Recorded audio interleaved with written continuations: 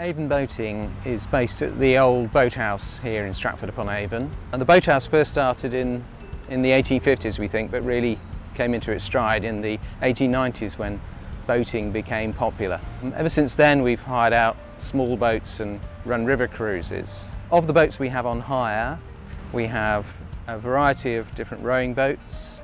We've got traditional English punt like they have at Oxford and Cambridge.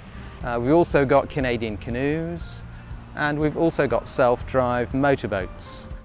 You don't need any experience to hire one of our small boats and we all have all sorts of safety measures in place to ensure that your outing on the river is safe and enjoyable.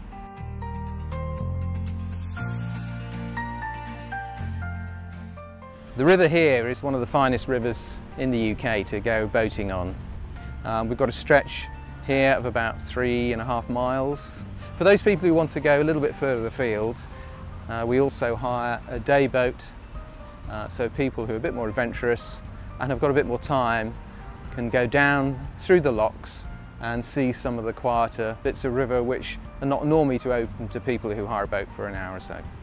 The other large part of our business is running traditional river cruises.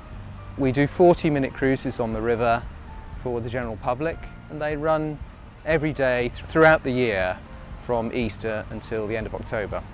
The boathouse here in Stratford is a delightful old business that we're very proud to be a part of.